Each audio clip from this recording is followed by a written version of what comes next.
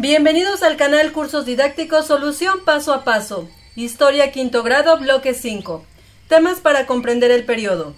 El compromiso social para el cuidado del ambiente. Las expresiones culturales. Páginas 176 a 179. Gracias por ser parte de la comunidad de cursos didácticos Solución Paso a Paso. Gracias por visualizar nuestro contenido. La gota de agua perfora la roca, no por su fuerza, sino por su constancia. Comencemos. Iniciamos con temas para comprender el periodo. El compromiso social para el cuidado del ambiente. A lo largo de la historia de la humanidad, las personas han realizado diferentes actividades, como la agropecuaria, minera e industrial, sin dejar de lado la urbanización. Estas actividades transformaron y alteraron el ambiente, pues para llevarlas a cabo se necesitaron extensiones de tierra para cultivar, talar árboles, extraer materias primas y construir viviendas, lo que ha provocado la deforestación, explotación y contaminación de grandes áreas. Un ejemplo claro es el Valle de México, cuyo ambiente ha cambiado de manera acelerada. En todos los niveles, mundial, nacional o local, los avances tecnológicos y científicos han traído beneficios para los seres humanos, pero también algunos perjuicios.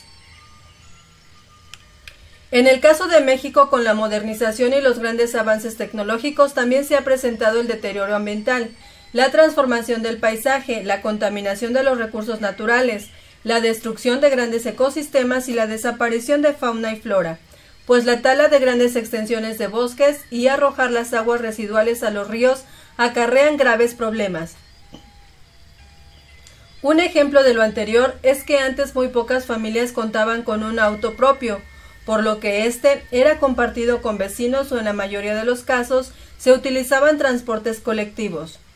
Pero, a medida que la industria automotriz ganó terreno en nuestro país, fue más sencillo adquirir un vehículo. Por ello, en la actualidad hay tantos coches que el tránsito en las grandes ciudades es difícil, además de que el combustible que consumen contamina el aire. Les recordamos que el texto que se encuentra subrayado les va a permitir generar los resúmenes sobre el tema. Muchos terrenos de cultivo y extensas zonas ricas en flora y fauna desaparecieron para construir nuevos poblados, caminos y puentes. Otro problema es la falta de agua potable para abastecer a la población de las grandes ciudades. Tiene que traerse de lugares más lejanos o extraerse de pozos cada vez más profundos. El deterioro ambiental de nuestro país puede ser revertido, pero para ello es necesario el compromiso de todos. Es importante que participemos en su solución y exijamos el cumplimiento de las leyes que protegen el ambiente. En nuestra casa, trabajo, comunidad o escuela podemos iniciar actividades concretas para mejorar el entorno. Para lograrlo necesitamos observar nuestro alrededor e identificar alternativas menos dañinas al ambiente, cambiar conductas y tomar decisiones basadas en el mejoramiento de la calidad de vida.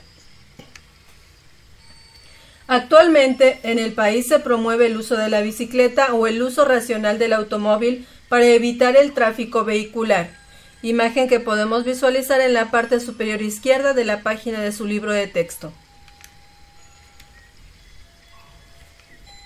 Algunas de las acciones que se pueden emprender son cuidar los bosques, los animales, las fuentes de agua y el aire, no tirar basura en las calles y colocarla en los lugares correctos, separarla y reciclarla, usar las hojas de papel por ambos lados, reparar fugas de agua y utilizar la necesaria, cerrar bien las llaves de agua, apagar las lámparas y desconectar los aparatos eléctricos de la casa cuando no se ocupen, utilizar lo menos posible el automóvil, caminar, usar la bicicleta o el transporte público, entre otras.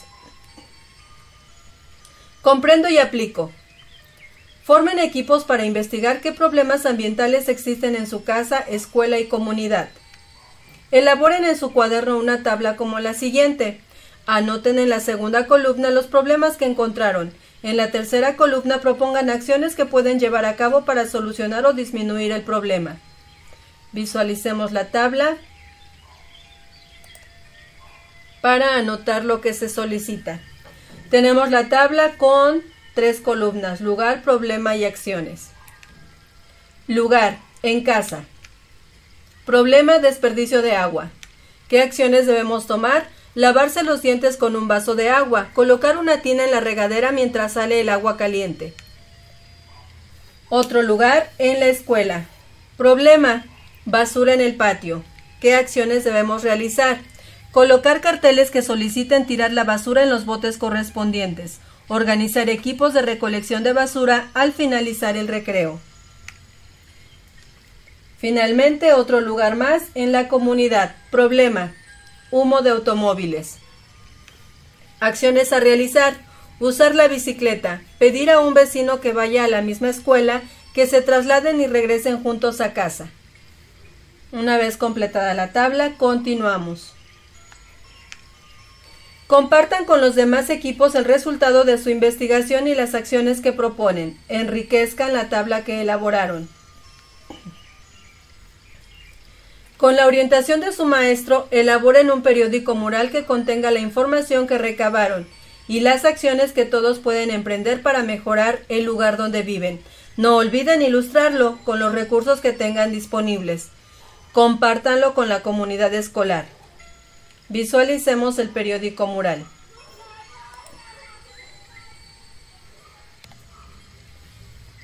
Observamos el cartel. Cuidemos el medio ambiente. No desperdicies el agua. Lavarse los dientes con un vaso de agua y observamos sus ilustraciones de cada uno. No tires basura en el patio. Colocar carteles que soliciten tirar la basura en los botes correspondientes. No contamines. Usa la bicicleta. Reutilizar el agua con que se lavan los trastes. Organizar equipos de recolección de basura al finalizar el recreo. Pedir a un vecino que vaya a la misma escuela que se trasladen y regresen juntos a casa. Seguimos.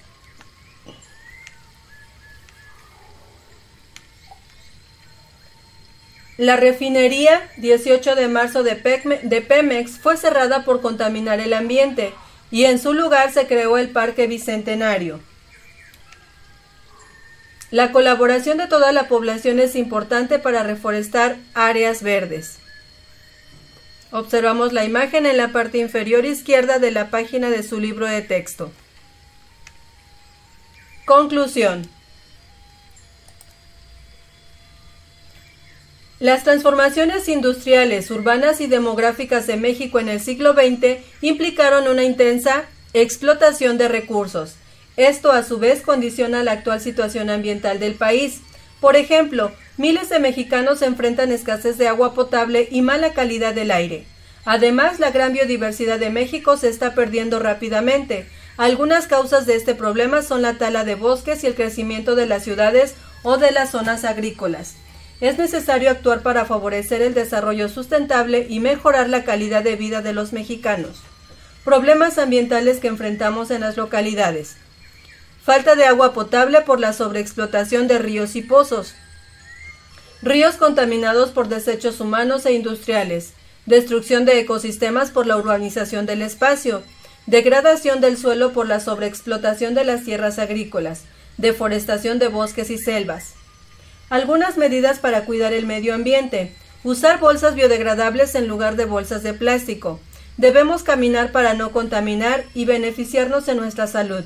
No permitir la tala de árboles, ya que afecta a la flora y fauna del lugar. Desconectar aparatos electrónicos que no se usan ayuda en el ahorro de energía. Continuamos. Leo y comprendo. Tema. El compromiso social para el cuidado del ambiente.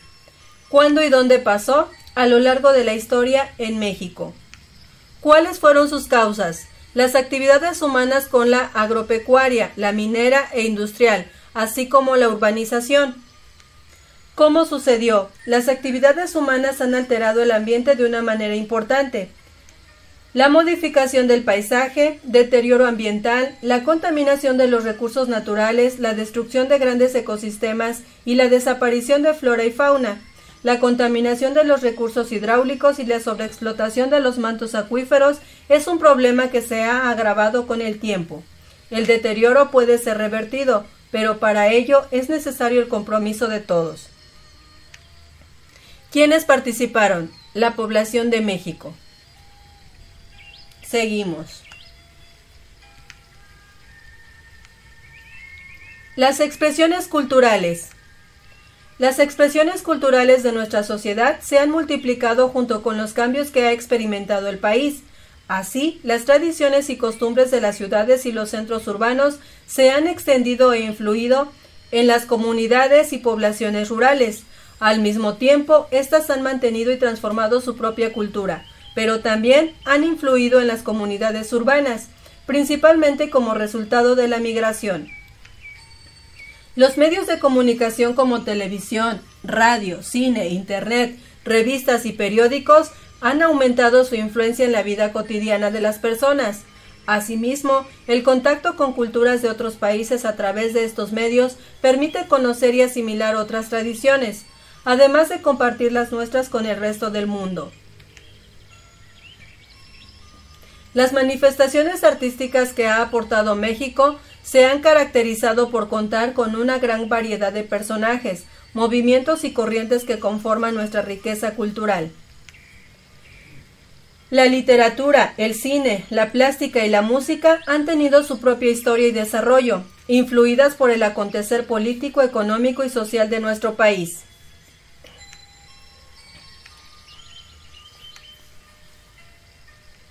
La literatura de las últimas décadas cuenta con diversidad de temáticas, estilos y géneros. Por ejemplo, desde la literatura de la onda de los 70, que mostraba temas urbanos y tenía tintes contestatorios, hasta la generación de la crisis de los últimos años.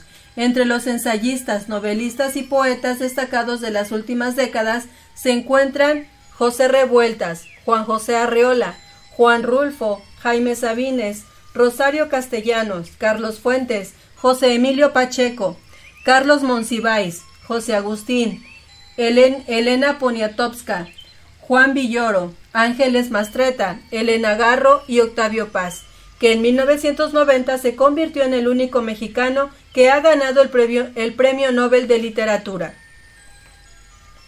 En el teatro destacaron escritores como Emilio Carballido, Hugo Argüelles, y Vicente Leñero. En la pintura y escultura José Luis Cuevas, Juan Soriano y Francisco Toledo. El cine pasó por periodos de escaso apoyo económico a un resurgimiento de calidad del nuevo cine mexicano, que le ha permitido competir con la cinematografía mundial. Cineastas como Guillermo del Toro, Alejandro González Iñárritu y Alfonso Cuarón son reconocidos en el mundo. Juan José Arriola, escritor, 1918-2001. Observamos su imagen en la parte superior izquierda de la página de su libro de texto. Octavio Paz, escritor, 1914-1998. Premio Nobel de Literatura 1990. Visualizamos la imagen en la parte central de la misma página de su libro de texto, lado izquierdo. Carlos Fuentes Macías, escritor, 1928-2012. Imagen que podemos observar también en la misma página, parte inferior izquierda. Expresiones culturales son las diferentes maneras y medios con los que las personas, pueblos y grupos sociales manifiestan su particular modo de vida y sus ideas. La música amplió su oferta de propuestas. Grupos e innovaciones de particular trascendencia para las nuevas generaciones han dado muestra de su adaptación a los tiempos actuales. Si en los años 70 el rock tenía como uno de los principales exponentes al grupo Three Souls, In My Mind, hoy el Tri de Alejandro Lora, en los últimos años surgieron grupos urbanos como Molotov, Café Tacuba o La Maldita Vecindad, entre otros. La música grupera o regional mexicana ha sido otro de los géneros musicales de mayor aceptación, mientras que la música pop y ritmos de otros lugares del mundo como el hip hop y los ritmos latinos tienen cada vez más seguidores entre los jóvenes. Como parte de la política para promover la educación artística, la cultura y la participación social, En 1988 se creó el Consejo Nacional para la Cultura y las Artes, CONACULTA. Asimismo, se han abierto espacios a la producción editorial y a la representación artística, como la Feria Internacional del Libro de Guadalajara, la Feria Internacional del Libro del Palacio de Minería en la Ciudad de México y el Festival Internacional Cervantino en Guanajuato. José Emilio Pacheco, poeta, 1939-2014. Imagen que podemos observar en la página de su libro de texto, parte superior derecha. Festividad indígena, Soque. Imagen que tenemos en la parte central del lado izquierdo. Elena Poniatowska, escritora y, escritora y periodista reconocida con el Premio Cervantes 2014. Visualizamos la imagen en la parte central de la página de su libro de texto, parte derecha. Celebración del Día de Muertos. En la misma página observamos la imagen, parte inferior izquierda y Los Tigres del Norte, imagen que podemos visualizar en la misma página de su libro de texto, parte inferior derecha.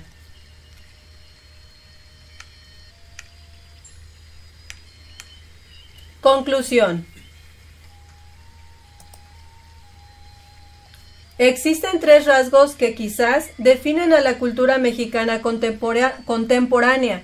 Primero, su amplia diversidad, Segundo, la influencia que tienen sobre ella los medios de comunicación, los cuales divulgan ideas, gustos y marcan pautas de conducta. Tercero, un conjunto de rasgos propios, producto de una herencia común y un pasado compartido. Así, el Día de Muertos, la música de mariachi y las fiestas patronales forman parte de la cultura mexicana, pero también lo son el rock, las caricaturas y el fútbol. Lo mismo en el cine que en la literatura y la música, decenas de artistas mexicanos han sido reconocidos internacionalmente por la calidad de sus obras e interpretaciones. Características de la cultura mexicana contemporánea. Existe una gran variedad de corrientes, artistas y movimientos. El nuevo cine mexicano ha sido reconocido internacionalmente por sus propuestas, altamente influida por los medios masivos de comunicación. El rock, la música grupera y el pop son algunos de los géneros musicales más populares. El cine, la televisión, la Internet son medios de comunicación en los que puedes ver imágenes en movimiento, como películas. Los periódicos y las revistas son medios de comunicación impresos. La radio es el medio de comunicación a través del cual solo recibe sonidos.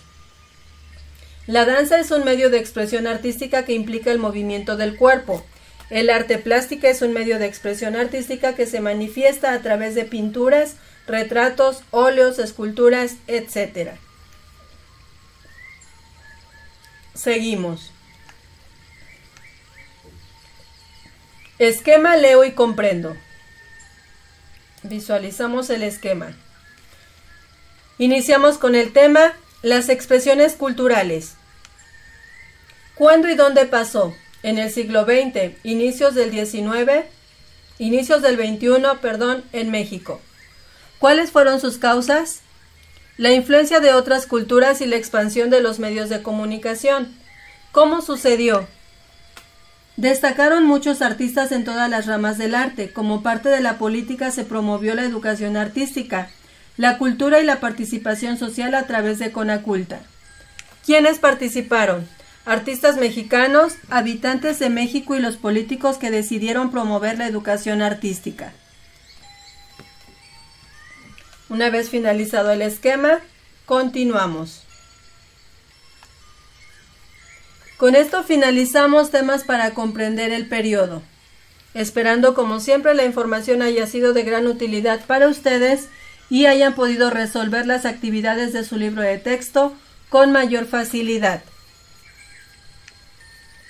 Si aún no eres parte de la comunidad de cursos didácticos Solución Paso a Paso, te invitamos a suscribirte, a activar la campanita de notificaciones para estar al día con los nuevos contenidos. Si el contenido del video fue de gran utilidad para ti, te invitamos a seguirlo compartiendo con más compañeros para que puedan desarrollar las actividades de su libro de texto con mayor facilidad o con más papás para que continúen apoyando a sus hijos en las actividades escolares. Regálanos tu like, es importante para nosotros y recuerda, eduquemos y aprendamos con la tecnología del hoy, pero con los valores del ayer.